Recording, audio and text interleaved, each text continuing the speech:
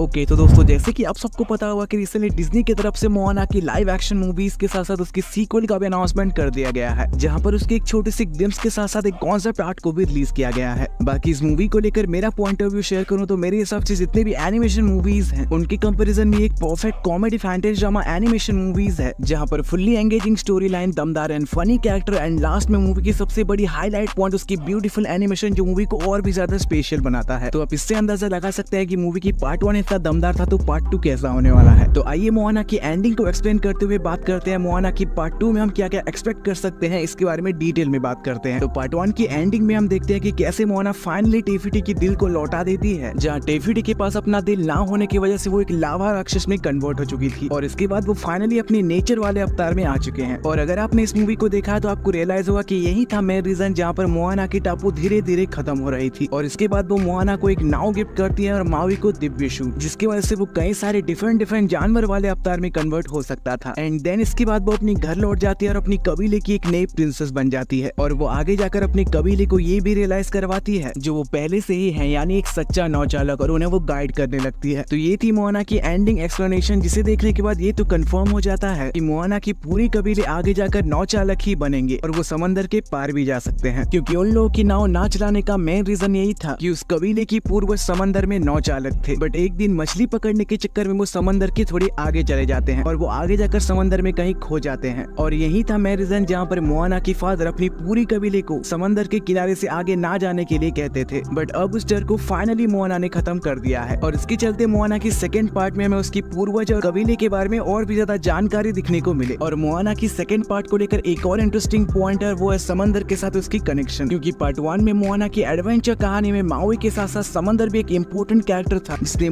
मोहना का साथ दिया था। तो इस बार मोहना और समंदर की कनेक्शन को देखना और भी ज़्यादा इंटरेस्टिंग होगा। बाकी मोहना की सेकेंड पार्ट को लेकर नए कैटर नए एनिमल्स और नए नए क्रिएचर्स के साथ साथ नए नए गॉड भी हमें दिखने को मिलने वाले हैं। क्योंकि मोहना की नेक्स्ट पार्ट को लेकर एक और इंटरेस्टिंग थिंग्स है और वो है गॉड की कनेक्शन क्योंकि माओई एक्चुअली में एक डेमी गॉड है जो देवताओं से कनेक्टेड है। तो ये एक मेन रीजन हो सकता है मोहना की सेकेंड पार्ट में नए नए गॉड की अपेरेंस का। तो ये मूवी रिलीज़ होने वाला है नवंबर 2024 को, जिसके लिए मैं बहुत ही ज़्यादा एक्साइटेड हूँ। बाकी इस मूवी को लेकर आप क्या क्या एक्सपेक्ट करते हो हमें कॉमेंट बॉक्स में ज़रूर बताएँ। तो ये थी आज की वीडियो वीडियो अगर पसंद आए तो वीडियो ज़रूर लाइक शेयर सब्सक्राइब करें। मिले कुछ और वीडियो के साथ में। अभी के लिए धन्यवाद।